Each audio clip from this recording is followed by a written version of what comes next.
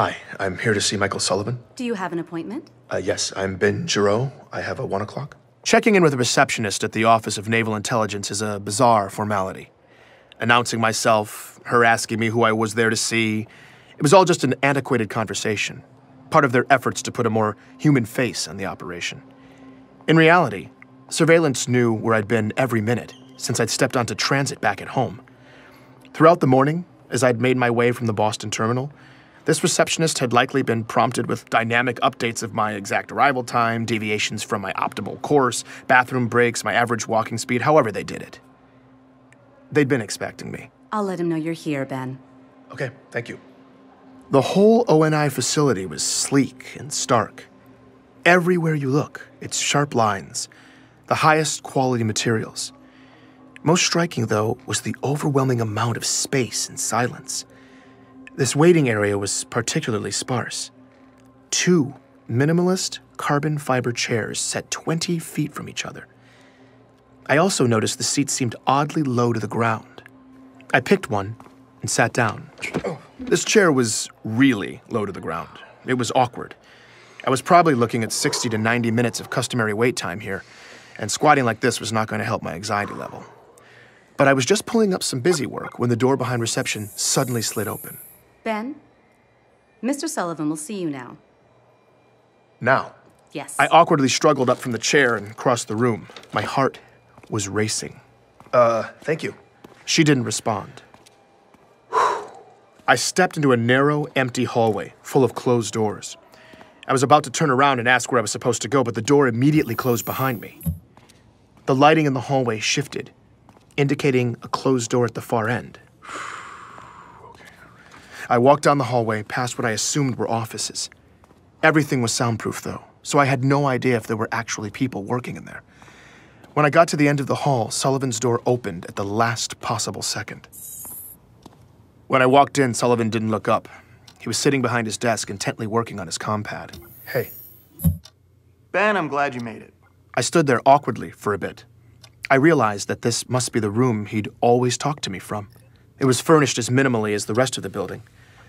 There are a few shreds of actual personality on display behind him, though a couple of knickknacks and this antique simulated analog clock. Sullivan still hadn't looked up. should I, uh, should I? Make yourself comfortable. Okay, yeah. He continued swiping on his compad. I sat down in the chair, just like the other one. My knees were at my ears. I felt oddly far from his desk, too. I tried some small talk. If I didn't uh, take you for an antiques guy, Sullivan, where, where'd you get the clock? Oh, I've always had it. Nice, nice. So, um, How's the story, Ben? it's good. It's good. You getting what you need? Absolutely. Want to make sure you're getting all your uh, your questions answered. Great. No, th- well, uh, yeah, yeah, I, uh, I am. I mean, um, Perfect. I was still desperately trying to figure out what was happening when Sullivan stopped swiping. He looked up at me for the first time and he had this little twinkle in his eye. There's someone who'd like to talk to you, Ben. I'm Benjamin Giraud, and this is Hunt the Truth.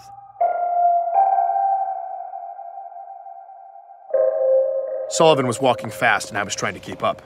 The buildings were all connected underground, and the whole complex was far bigger than it had seemed outside. As he led me deeper into the maze, the feel gradually became less corporate and more military. And the more military it got, the more nervous I was getting. didn't, re- didn't realize they let civilians in this far. It's a special day, Ben. Sullivan's department had seemed almost vacant, but now there were more and more people moving through the halls, mostly in uniform. They didn't speak or look up. They just stared down at their compads like Sullivan, swiping as they walked. The ice cold efficiency of everything was striking. We're here. Sullivan led me into a large, dark conference room, and the door closed behind us. In the center of it, there was a massive, well lit conference table with several chairs around it. Beyond the lights, the edges of the space and high ceilings faded into shadow. Have a seat. I did as I was told and sat in one of the chairs. It automatically sank beneath me. I squinted into the darkness. I made out that one of the walls was entirely black glass, probably for observation. Need any water?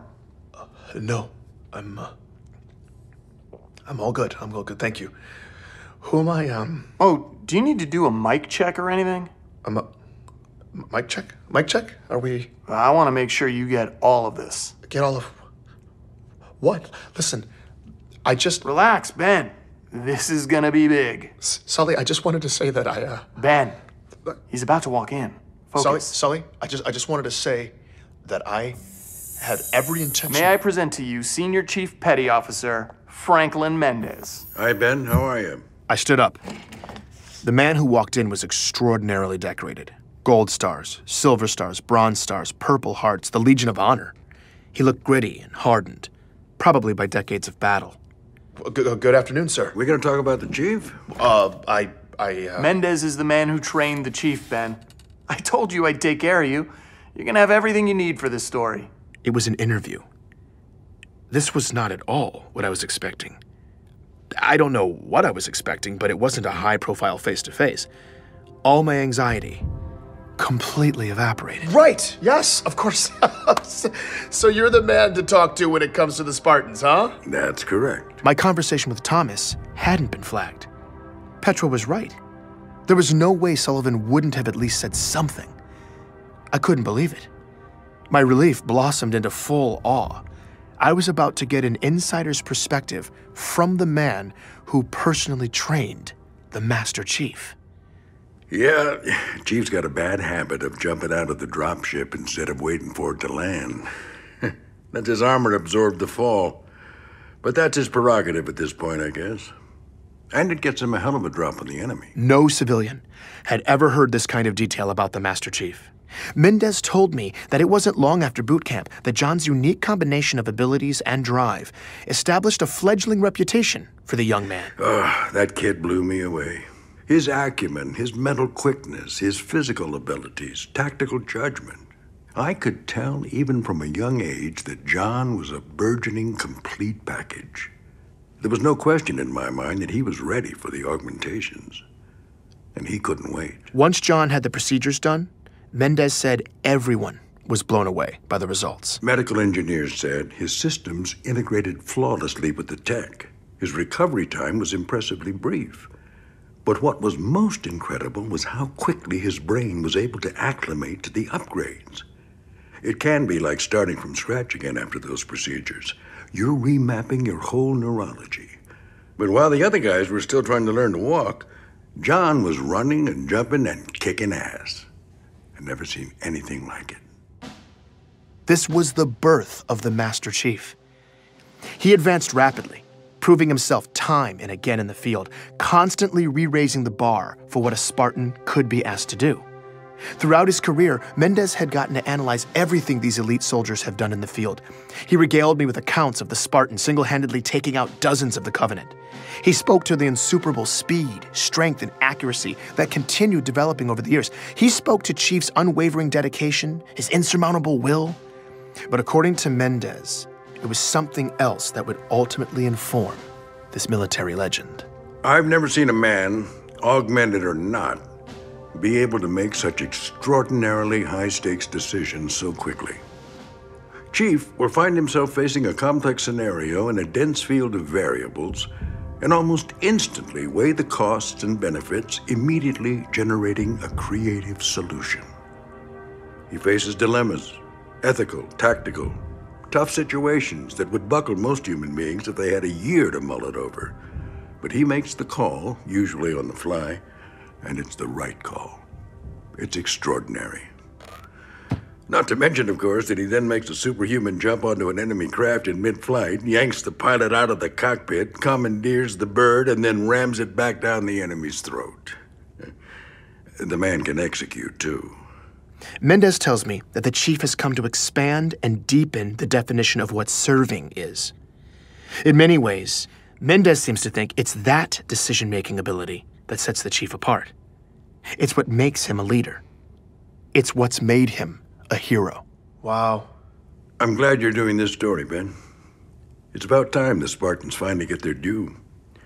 People need to understand the level of sacrifice that the chief and all the Spartans make to keep us safe. You talked a bit about Chief's personality, uh, his dry wit, his loyalty. I'm sure you guys don't sit around talking about your feelings much, but uh, in in your opinion, do you think being held at that level of responsibility is hard for him? Protecting a whole galaxy, it, it seems like it would be an unimaginable heavy burden. Lucky for you, you don't have to imagine it. No, it is a heavy burden. But Chief has broad shoulders. He's able to make those decisions and get it done. And he takes that task on willingly and with vigor. It's inspiring. Absolutely, absolutely. It's amazing. But do you think one man should have that much power? You see now, it's your phrasing there that could get you into trouble. It sounds like you're making a presumption that I could find adversarial, which in turn would make your tone condescending and this conversation decidedly unpleasant. Now, that's not something you want, son. Uh, no, no, I, I. Would you like to rephrase the question? Of course, of course, I'm sorry. I, uh. At that moment, the light suddenly changed in the room, and Sullivan started swiping through his compad. Oh, uh, room's turning over. I apologize for the inconvenience, gentlemen, but uh, we are about to get a change of venue. I'm sorry, what, what I. What, what- I'm sorry. What I should have said was, if if we're leaving these kinds of decisions. Sorry, Ben. hands- Hold on a sec. It um looks like we've got access to Jasper Nine now, so we can just head down there if that's all right. Fine with me. Okay, okay. Yeah, it's a short walk. Uh, gentlemen, hold that thought. Uh, looks like I've got somewhere else I need to be. No, no problem. I, I can wait. Shouldn't be long. Sullivan can reschedule us for around 1600. Uh, perfect. I appreciate it. You should appreciate what my Spartans did instead. The only reason you're breathing the air you need to even ask these questions is because they sacrificed more than you'll ever know. Mendez split off down the hallway as a line of large men in suits silently filed past and disappeared into the conference room behind us. Sullivan was on the move again, buried in his compad. I followed after him. S- S- Sullivan. Yep. Yeah, wh- where should I report? It's at 1600. It's not up yet. Let's see. Uh, oh no. Um, wait a minute. What? What? Looks like we're getting a request for raw now. Yep. For me? Yeah, you, you're you're shipping raw files off for edit by mm, 0900 What? Thursday. No, hold on. I can't. All I right. can't ship off the raw files. It's all back at home. I- It, You I- just received boarding docs for the 5:30. That leaves you 24 hours to upload when you get back. wait. I've only done mock-ups for the first few episodes. That's editorial, Ben. Let them worry about it. But what about Mendez then? That was awesome. But I didn't finish You with- got amazing stuff from him, man. Killer interview. Love it. If the other stuff is even half that good, the story's going full distribution, wide I- stream. okay, I know. I'm still I'd in the middle of it though, so I, I can I, I can just wait for him. I, S- Sullivan, Sullivan, I, I I can wait here and finish the interview with Mendez. I've got time. Sullivan stopped walking when I said that. He turned around and walked right up to me. For the first time all day, possibly for the first time ever, I felt like he was giving me his complete, undivided attention. Ben, you don't have time. You have a deadline and a boarding pass for the 5:30. Okay? In that moment, it dawned on me that perhaps my waypoint conversation with Thomas Wu had been flagged. Sullivan turned back into Sullivan and kept moving. Seriously though, man, amazing stuff. And remember, once this story hits, they're all gonna be eating out of your hand. Travel safe. You earned this, buddy. For those of you who don't speak ONI, that was me getting fired. Your pass will expire in nine minutes. And according to the AI, I was no longer a welcome guest. I was about to take the long trip home. Taking a second interstellar trip after less than 24 hours sucks enough when you haven't just lost your job. Once I was buckled in, all I wanted to do was get some sleep. But as we started to lift off the platform, something was bothering me. Actually, it was someone. So there's a guy complaining to the attendant in the next cabin. It sounds like he's on his first trip out of the solar system. These long flights to the edges of the inner colonies from Earth always had at least one that guy. Some entitled Earth VIP who feels the need to yell about the outrageous inconveniences of slip space travel. So I definitely recognize his voice. It took me a minute, but that's gotta be him. I think it's Jacob Walker. Jacob Walker. The military retiree I'd spoken to a few weeks back, the happy beach bum who'd been in boot camp with John. That didn't make sense, though. He was on permanent vacation near Saturn. Walker was the last man I'd expect to see on a flight leaving Earth. So I'm about to take off here, but I gotta know for sure. I unfastened the belts, made my way down the aisle, and when I peeked around the partition, I saw him, sitting there arguing with the attendant. But this man was wearing a suit and tie, and his hair was combed neatly on his head. He looked nothing like the unkempt Walker I saw during our interview. Is, is there I went for it anyway. To? I'm not trying to be difficult here, but you Jacob? can't have air quality I'm this sorry, bad sir, and expect that. unfortunately, There's nothing that I can do about the air quality. Jake, Jacob Walker? All the color drained out of the man's face. Sir, you need to sit down. Jacob Walker? If you're thinking I was mistaken and I just freaked out some random business traveler, listen to his reaction when I tell him who I am. Hi, uh, Ben Giraud. We, we talked a few weeks ago? Oh, yeah, of course. Uh, old boot camp stories. Yeah, I remember you. That was the Walker I remembered. Are you are you here on business or something? Walker bumbled awkwardly in the conversation. Personal thing. It looked like he desperately wanted to get away, but he was stuck there. No, what what what are you doing here on Earth? Oh, I, uh, yeah, I'm just, you know, taking a little trip. Sir, we are airborne. Please take your seat. I, I thought you were retired. Yeah, yeah, I am. That's right, but. Oh, hey, Ben, I, I, I mean, I mean, we're like I thought to you were permanently stationed on a beach. Yeah, Sir, last warning. You need to sit down immediately. Okay, hold on a second, all right? No, you're done. No, just take it. Don't touch. What are you doing? Oh. That's when the flight crew sedated me. I blacked out, and my conversation with Walker was over. I woke up in the terminal, back at home, with a pounding headache. By the time I got back to my place, I had a nasty surprise in my inbox, too. It was an order from the Inner Territories Transportation Administration. Notice of violation. Benjamin Giraud. This is to inform you that attached is an ITTA order assessing civil penalties for the in flight incident. What? Oh, God, they're fining me 50,000 credits? At least ONI was paying me well for the story. I checked the time. I still had 23 hours to deliver the raw files to Sullivan. That left me ample opportunity to tuck tail and follow orders. I may have been fired, but I wanted the next job, so I needed to just put all of this ugliness behind me. This story was going to be someone else's problem now. I was queuing everything up to send off to Sullivan when I noticed my compad was still recording. It had been recording the whole time. The file was massive. I scanned back to the beginning. Most of it was me sleeping, but then I heard something I hadn't remembered happening. It was right after the flight crew had put me down. yeah. I, Sir, last warning. You need to sit down immediately. Okay, hold on a second, all right? No, you're done. No, just take. Don't touch. What are you doing? Oh. They hit me with the sedative, but then this happened. We'll take it from here. Wait, what? Just let Mr. Giraud, you are legally obliged by ITTA regulations to comply with crew member instructions at What did all you do? times. Wait a minute. What did you just? What did you just do? To Grab his feet. Hit him with another half a mil. More sedative? No wonder I felt so awful. Wait a second. What did he just do to me? What did he? You'll be fine, Ben. It's not. No, no, you're right. Ben, they called me. I scrubbed through the rest of the recording. This is them carrying me through the transfer terminal to my connecting flight. Yeah, I'll be out for another 12. We're good. What the hell was he doing on that flight? I don't know, but The no intersect was max priority here. How could that even happen? The system shouldn't even let you cross itineraries like that. yeah, it's bad. And Sullivan's gonna hear about it. They had to be talking about Walker and me. But why? They didn't want me to know he was on Earth for some reason. They loaded my limp body into the shuttle, propped me up, and strapped me in. They even said goodbye. Have a safe trip, Ben. Ben, like they knew me. Come on, let's get out of here. I played the recording again. Mr. Giraud, And again. you are legally obliged I sat there listening to it over comply with crew and over. instructions At all times. I'd spent my career working for these people, doctoring photos, trimming threads, making tragedies seem a little less tragic and patriotic stories a little more inspiring. I had always taken whatever story they fed me and obediently vomited it back out to the masses. And to be honest, I'd always been okay with that at the end of the day.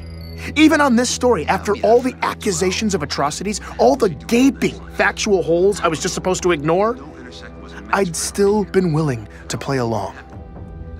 I wish I could say it was my principles or some moral stand that finally set me off, but it wasn't. It was my pride.